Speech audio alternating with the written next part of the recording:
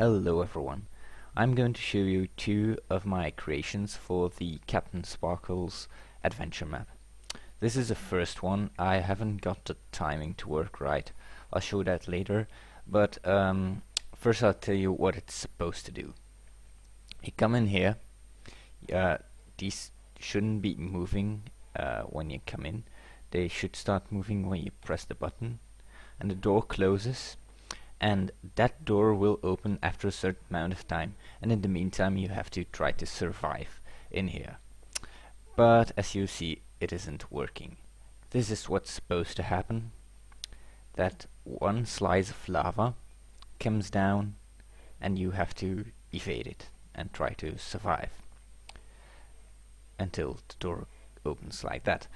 But uh, there aren't far enough slices coming down and when I tried to keep the pistons open longer uh, the whole room flooded with lava. So you should be able to get it working because it is bringing down some slices. It's just not uh, they're just not common enough. So uh, because I really didn't know how to approach this and I had little room. I just took some repeaters and manually uh, created a clock by putting a torch on it and removing it. And so far this is the best result I've gotten.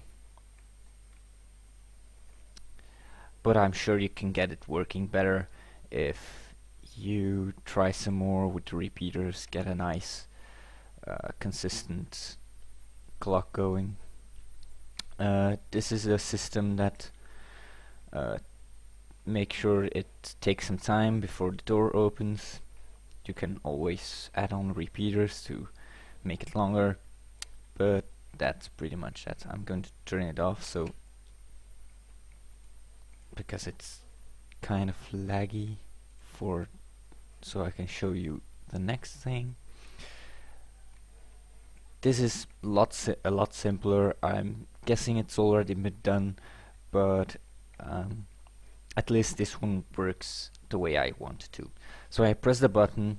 What happens is uh, the signal gets sent down to a clock, and um, this piston pushes a block down, so you can't push the button more than once.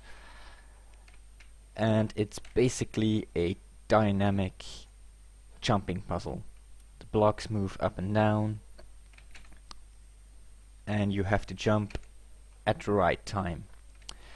The one thing uh, with this is that there is some kind of bug with pistons that when a block falls down uh, during the period it is falling down the physics engine doesn't know that there is a block and you uh, end up inside the block with your feet kind of um, and it slides you off. Like it tries to um, push you out of a like when I put this in there let me get my sand block back. When you put this in there and you put a block on top it pushes that up.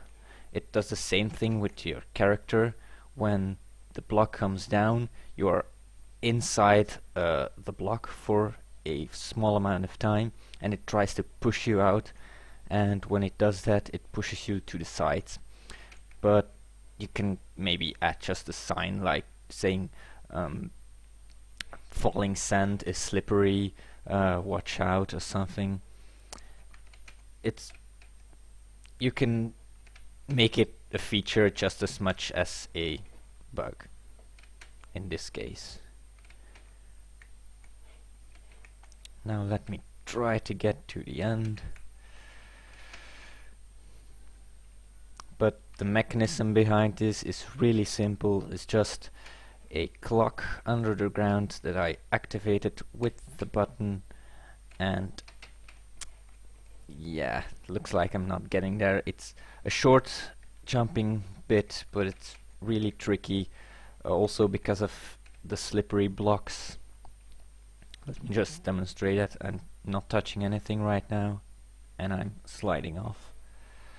But that's pretty much it. Um, I really like the idea of this thing, but see, it's already flooded because of the randomness of the clock I made. It really should work better if you make a better clock attached to it and this is really simple but I haven't seen it done a lot and it gives a new twist to the regu regular jumping puzzle. Hope you like them. Bye.